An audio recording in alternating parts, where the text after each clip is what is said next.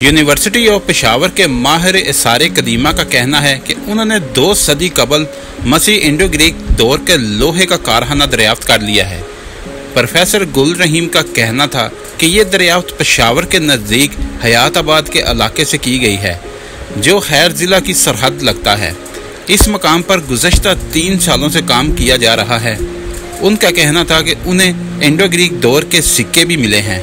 جو تقریباً دو ہزار دو سو سال پرانے ہیں۔ پروفیسر کا کہنا تھا کہ انڈو گریک افغانستان سے آج کے پشاور ہجرت کر کے آئے تھے اور اس علاقے میں انہوں نے ایک سو پچاس سال تک حکومت کی تھی۔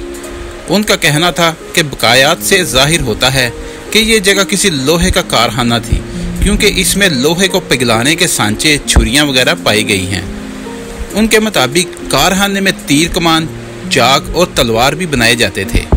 پروفیسر کا کہنا تھا کہ اس جگہ کو دیکھ کر لگتا ہے کہ کارہانہ دو حصوں میں تھا، جبکہ اس وقت کے گرینڈر سٹون، فرنس وغیرہ صاف واضح ہیں۔ پروفیسر گل نے مزید کہا کہ ہیبر پختونخوا صوبے میں اینڈو کریک دور کا پہلا کارہانہ دریافت کیا گیا ہے۔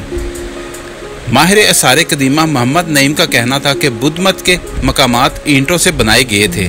جبکہ یہ مٹی کی بنی ہوئی ہیں، جس کی وجہ سے اسے محفوظ بنانا مشکل ہوگا۔ ان کا کہنا تھا کہ انڈو گریک دور کے بقایات خطری اثار قدیمہ سے بھی پائے گئے تھے۔ یونیورسٹی آف پشاور میں معروف اسکالر جان گل کا کہنا تھا کہ یہ پہلی مرتبہ ہے کہ طالب علموں نے انڈو گریک دور کے بقایات دیکھے ہیں۔ اس سے قبل صرف بدھ اور مغل دور کے بقایات کا مطالعہ کیا گیا تھا۔ اگر آپ کو ہماری ویڈیو اچھی لگی ہے تو اس کو لائک اور شیئر کریں اور ہمارے چینل کو سبسکرائب کرنا نہ بھولیے۔ شکریہ۔